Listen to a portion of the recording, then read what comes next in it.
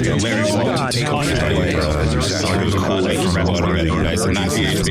you. You don't like you don't want to see language at this Um, level. I want to Uh, and I think thanks time I actually loaded it up and SSH'd into it and did a couple command command thingies.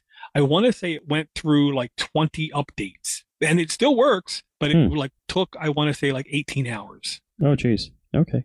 All right. So, um, for the most part, and not not throwing anyone under the bus, uh, I do have a Pine Rock Pro 64 or Pro Rock or Rock.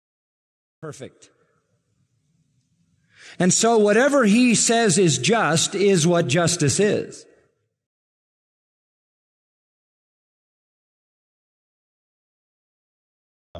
version control software. Um, it's the it's one of them that predated Git. In fact, it's famous because there's a commit from Linus Torvalds.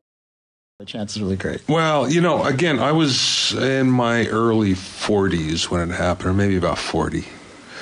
And I was it was time to move on as well. That was just a good push over the And um, how about voiceovers? So that was when I jumped uh, across to what I'm doing now. And when you get a country like Russia that is just sort of institutionally organized around cheating, Right. and th- they can use this open tool to really corrupt the, Right. the, the media and do huge damage. Giving them a megaphone. Right, huge damage to our democracy, to our Yeah. our ideals. So it's something that I think that at some point it's going to become increasingly clear that these companies are me. And I've been making this argument for years. Ever And since you were Gods of the right, and I have to say, but these companies are media companies. Yeah. And they have to be as accountable as Yeah. media They wanted to be platforms. They didn't want to be responsible. And you can't just open an account on Twitter or Facebook and we have and, and people to say, "Oh, that's fine, you know, we believe who you are," because half the people are lying.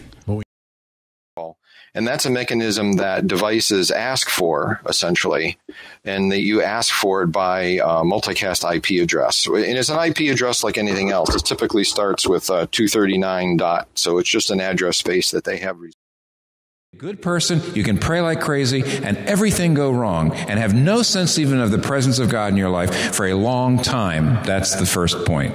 That's the first message. And you say, What? Doesn't the Bible say God is always working everything out for good? That uh, God has a purpose behind everything? Yes, the Bible says that. The Bible also says this namely, that you may go all of your life and never have any idea what the good purpose is. Something horrible might happen to you, and you may never, in, you, in this lifetime, ever have any idea what that is. Um, That's to be in darkness. If I get my dates Martin right, Marty, I think a, it, uh, version right? 2 dated Well, to I'm just about saying, this is your victory 2007. lap. You have Um, theologian. they were We've all acknowledged version. university. Uh, Our of team course. got it Of course. right. They're This little- is- they're little this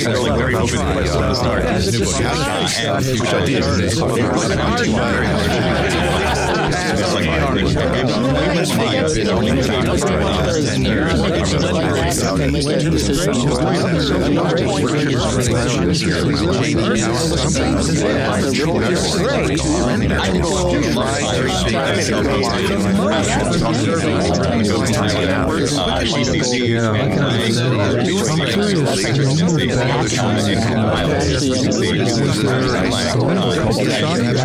things this